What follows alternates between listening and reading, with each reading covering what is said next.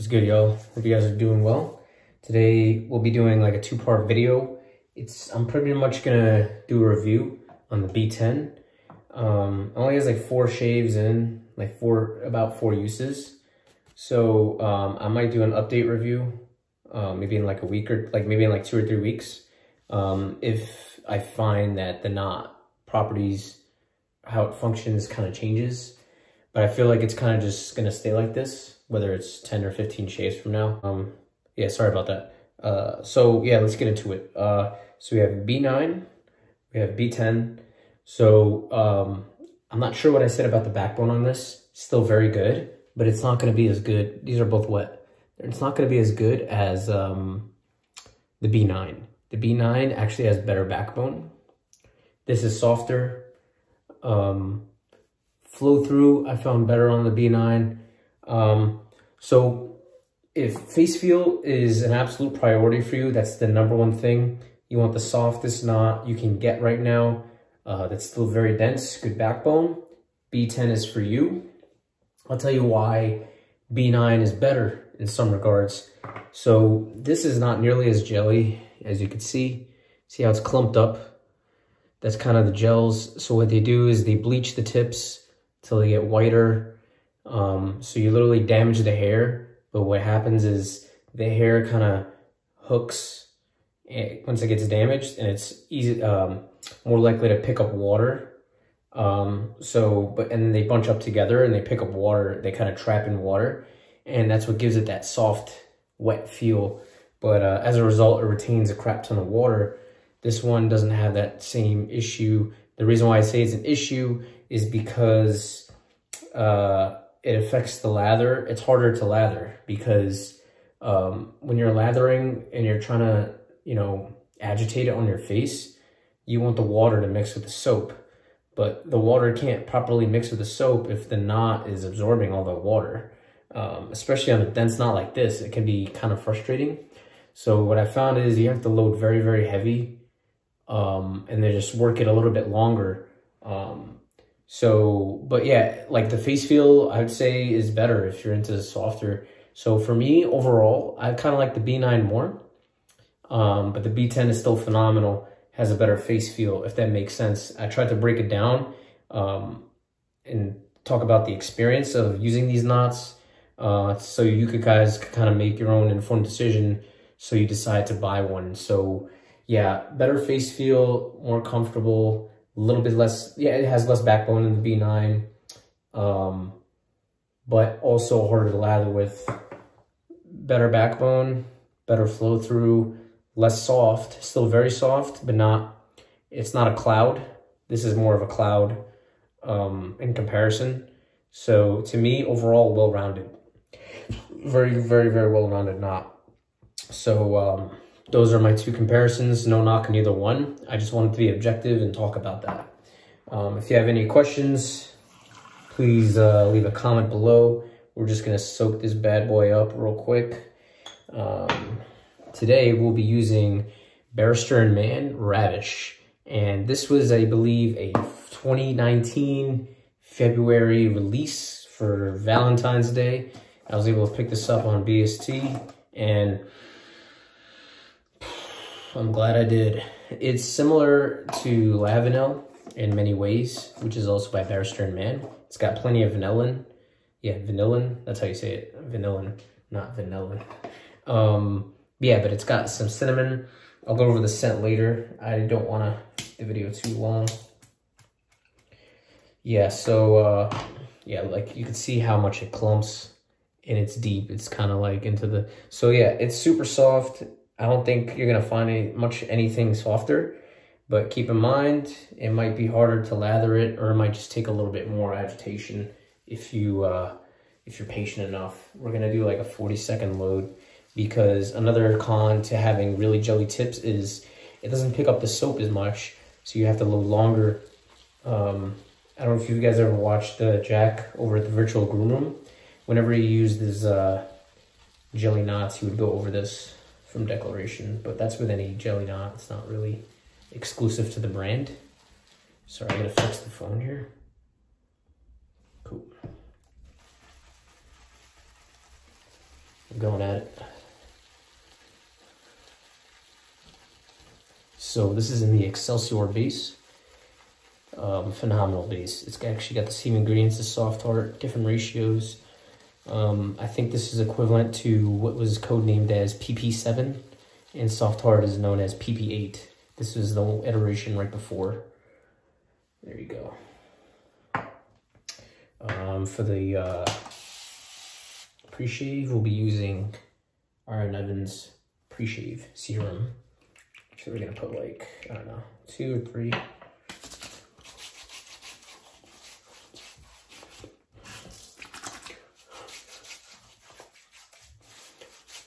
Can see, I got like two days of growth here.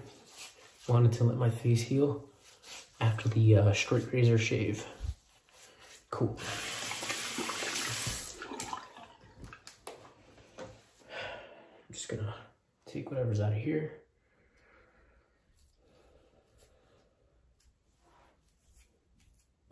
And then let's get into the lather. So they say this this soap might stain the brush, but I kind of don't care as much for some reason. I've never seen it actually stain the brush. And I used to use Lavanille a lot, so. Let's see. We'll see if I could create a lather today.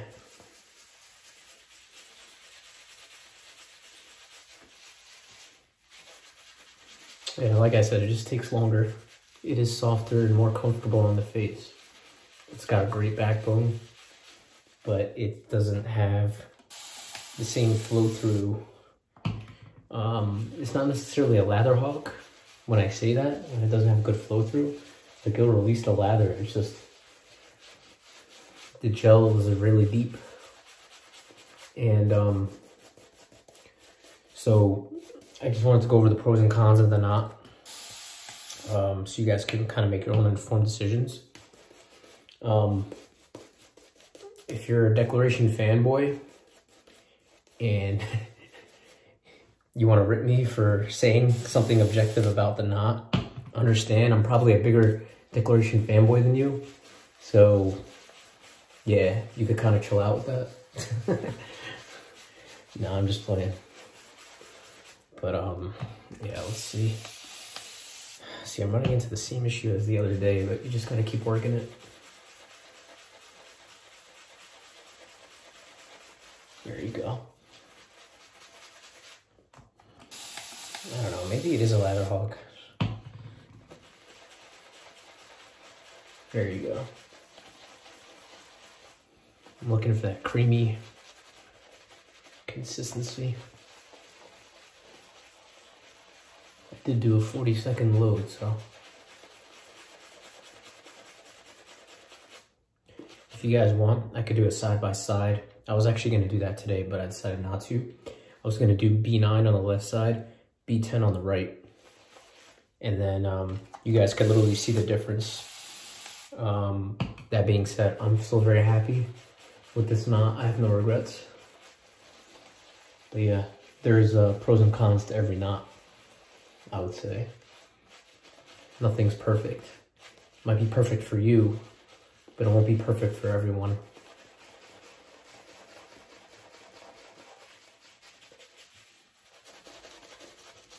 But I could kind of lather with this brush all day and not get any brush burn, so to speak,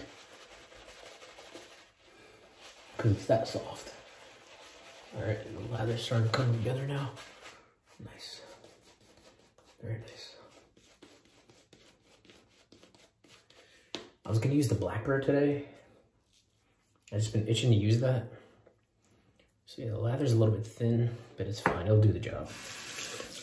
Um, I was dying to use the Blackbird, but today we're gonna go with the Paradigm Diamondback. I haven't used this in about, I don't know, a month. It feels like it at least.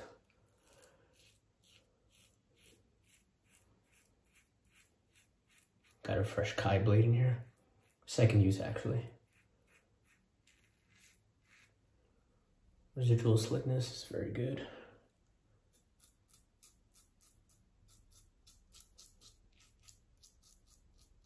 Forgot I was gonna say. yeah. um, about Paradigm. I have, um, what, one, two, three, three Paradigms. The guy makes great razors. But apparently he own he owes uh, Phil over at Blue Goose Shaving ten grand. Um, yeah, that's a lot of money, dude. So I don't know if I'll be supporting his business ventures in the future. He did publicly state a partnership with Mo from uh, um, from grooming department. I hope everything works out for them. I hope Mo doesn't do a $10,000 donation.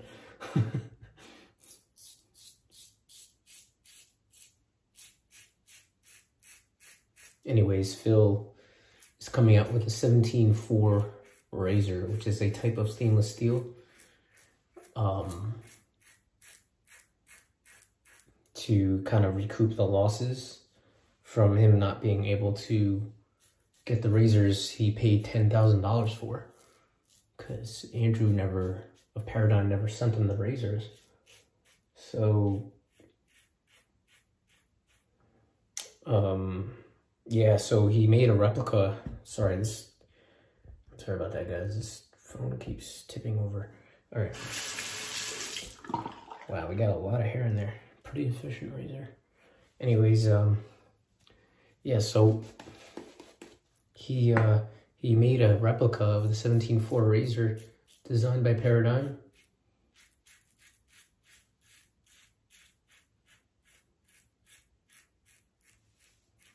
And um, he's literally make he made a, an exact copy to recoup the losses. It's actually not an exact copy. He says it's going to be slightly different handle, smoother and more efficient. So I think I plan on supporting him or at least trying the razor out because I always wanted to try that razor. It was very hard to get, a very limited run. As many things are in this hobby, many quality made products, handmade products, very hard to get.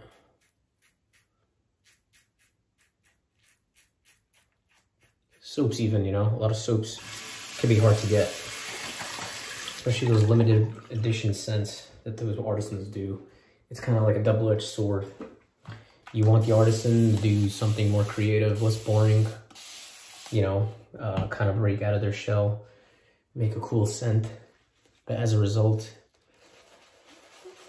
they can't sustain it. You know what? Screw it.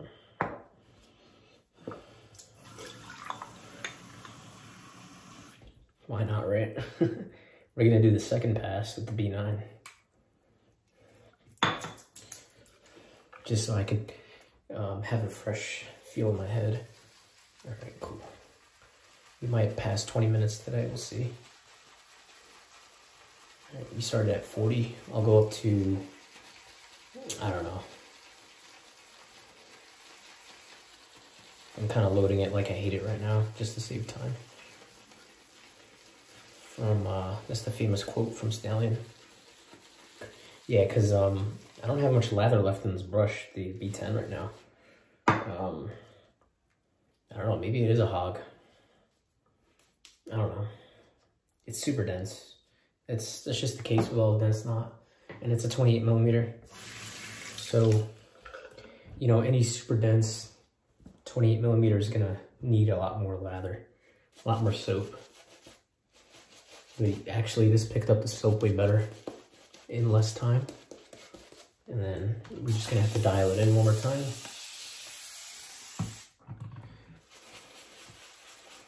So yeah, in comparison, you can feel the hairs a lot more.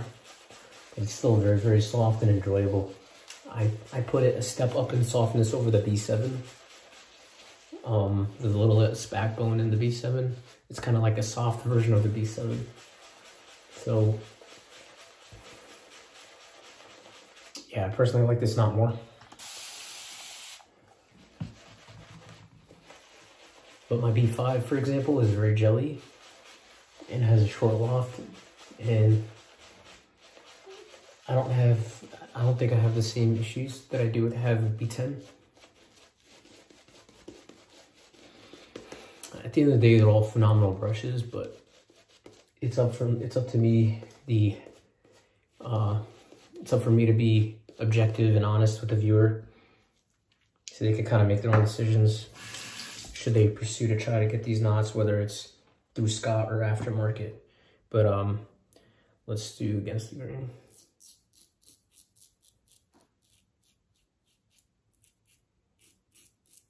Something I heard Ken talk about the other day, or was it today? I don't know. He said he kind of treats holding his razor like he's lightly holding a drumstick to kind of feel the vibration through the drumstick. And he said it kind of helps him reduce uh, adding pressure, which obviously could reduce irritation. So I found that comment very helpful.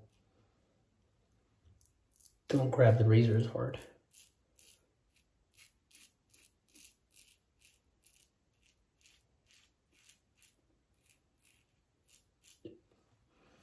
This razor is amazing. It's so efficient, so smooth. I think I like it more than the titanium too. I'm at my bad. I was supposed to do a comparison like two weeks ago. Got caught up in a lot of stuff.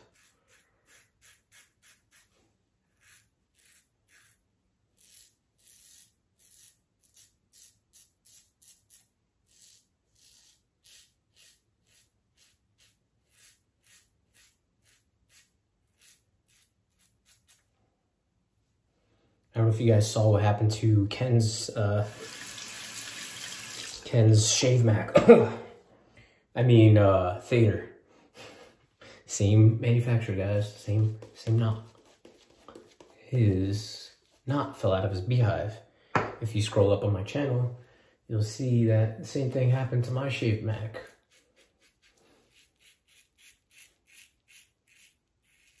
I don't think I ever followed through with what I decided to do.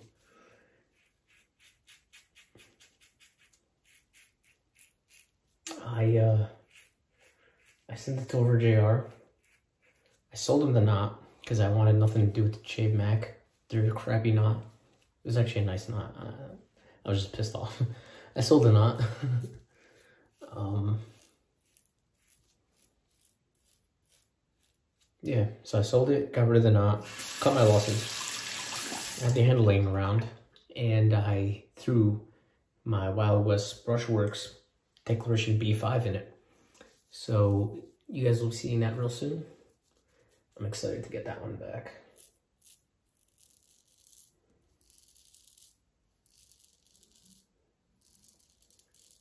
This is a top five. This might be a top five base, man.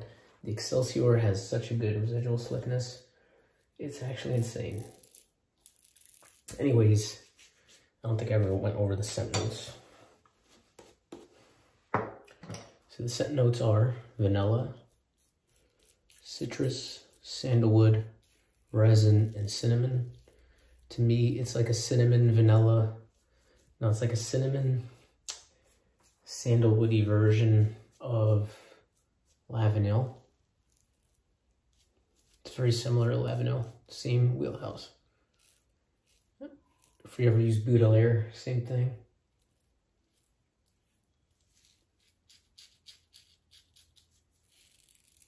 Cool. Chasing that BBS. Sorry guys, give me a second.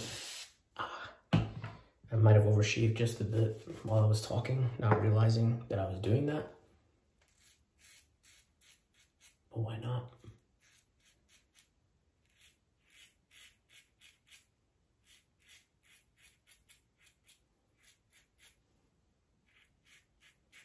Very nice.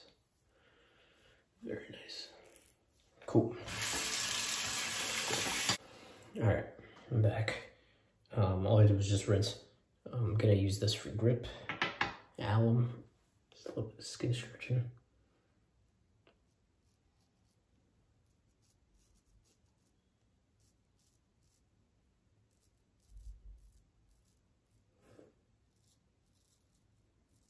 Wow, man.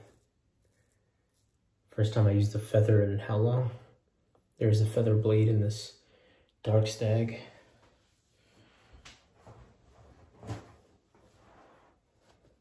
Yeah, you could really see the hair just being sliced.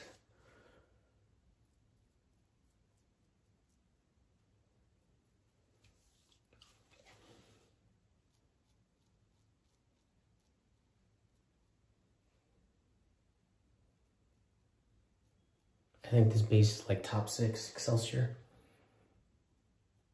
Well, I think only reason why it's not in my top five is because the post shave is not as good as some of the other elites. Um, Soft Heart does have a better post shave. Better slickness, density. It's actually almost better in every metric.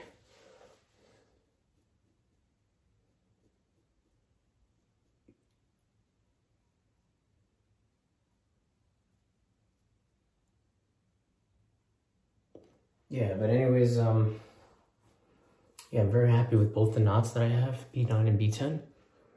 But um, I thought it'd be really helpful if I could just compare the two because they're both readily available.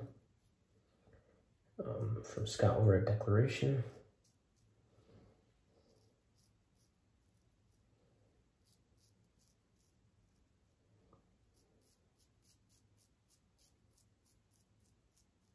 Wow, it's just shredding the hair. Feathers are legit, dude.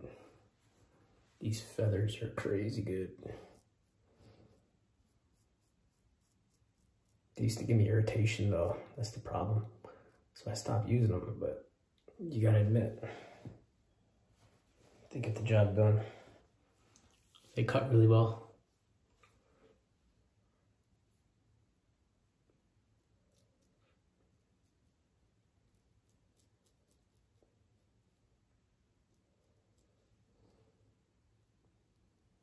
Cool.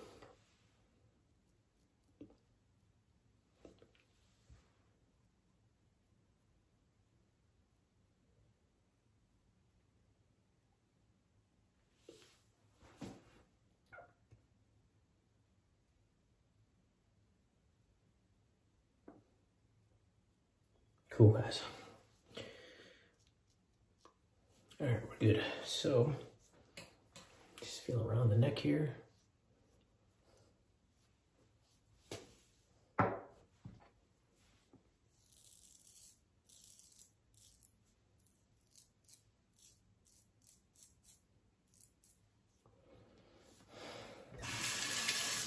I don't know if you guys noticed, but my hair is super thick. It does not want to go away. That's why I really like efficient razors. So I'd say this is less efficient than my Blackbird, but for the amount of blade feel it has, it has really good efficiency because it doesn't feel aggressive at all. Anyways, so we're gonna go with the matching splash. This is in the Delta space. This is absolutely one of my favorite splashes on the market for an alcohol-based splash. It's not really overpowering. Anyway, and then we'll finish it off with the matching EDT. No, I'm not going on a date tonight. Ooh, such good stuff. There you go. Why not throw on some Materia Mysterium serum?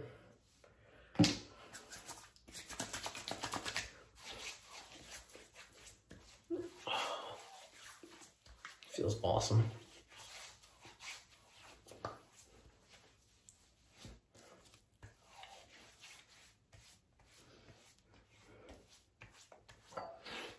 Throw some of that ravish goodness. Anyways, um, the main scent notes I got are the cinnamon, the vanilla, and the vanillin. So if you're into dark, sweet, sexy scents, Ravish is the one for you. I think Maggard still sells it. You could still get it. It's not super hard to get, but it's it's it's been discontinued for a while. But yeah, that's it, guys. So that was my Declaration 10 B10 with slash B9 review, and then um, we used uh, Ravish and the Diamondback. All right, thanks for watching, guys. I'll catch you guys in the next one.